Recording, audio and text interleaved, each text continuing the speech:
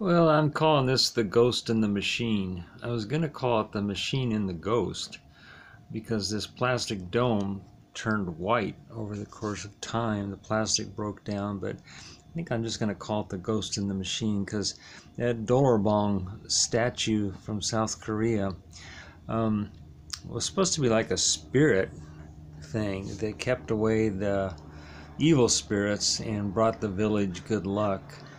But uh, I think this was a cool little project. Um, put it in this um, dome here with the, the solar panel the way it was supposed to be from the original design. And then um, I'll probably take this all apart. I probably won't leave it this way, but I'll record it with this video.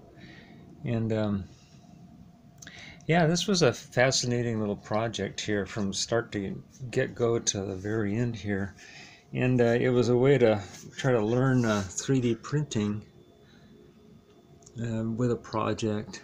And that's that's uh, a good way to learn something is you build something in the process of building it you learn learn the process but I am having still great difficulty with uh, learning 3D modeling and uh, I found out there's a bunch of different um, software programs for doing it and of course learning it and things like that but uh, none of them really make sense to me. Um, it is a foreign language and there was a description in the Wikipedia description of 3D modeling as to why it's so difficult.